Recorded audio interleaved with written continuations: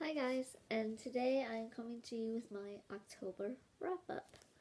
Um, I only have three books here, but I read a total of five books this month. Um, most of them were library books. Two of them were mine. So we will get started. The first two books are Hollow City and Library of Souls by Ransom Riggs. I rated these a 5 out of 5 stars because they were rereads for me. I read them last year and I read them again this year. Um, I love Ransom Riggs books. I love the pictures in them and everything else. So, um,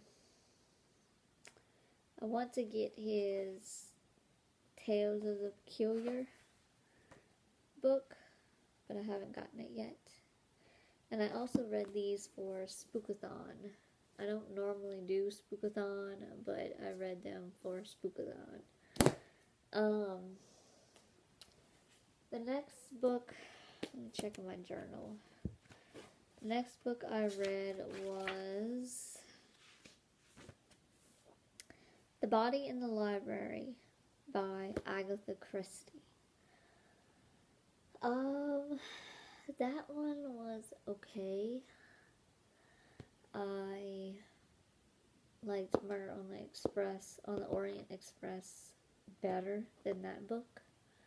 But I'm going to um, keep reading her books because I love reading her books, don't get me wrong, but I rated The Body in the Library like a 3 or 4 out of 5 stars. Um, and the last two books that I read are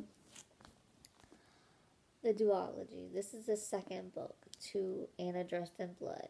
I read Anna Dressed in Blood and then Girl of Nightmares these books were actually really good. I didn't know if um, I was gonna like these books, but um, I can't tell you anything about the second book. But the first book is about a boy who hunts ghosts, I guess you could say it, um, with a knife.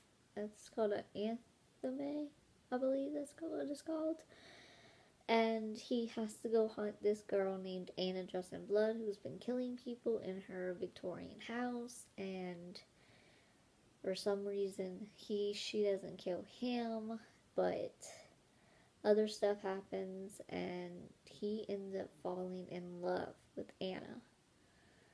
So um yeah that's all I'm gonna say. But I really really think people should read these too. Um, they were actually really, really good. I just did not like the ending to this book. I did, but I wanted it. I wanted it to turn out differently at the end. So, um, yeah. Um, so that is it for my October wrap up. I will be doing my November TBR pretty soon. Um, and if y'all want, let me know down in the comments below if you want me to do a um, flip through of my bullet journal. I keep my bullet journal like, yeah, see that? Reading journal, I keep it what I read, the months, and if it's a library book or not. But if y'all want to see more of that, let me know and I will do a flip through of it and explain whatever I do in it and all of that. So I will see y'all later. Bye.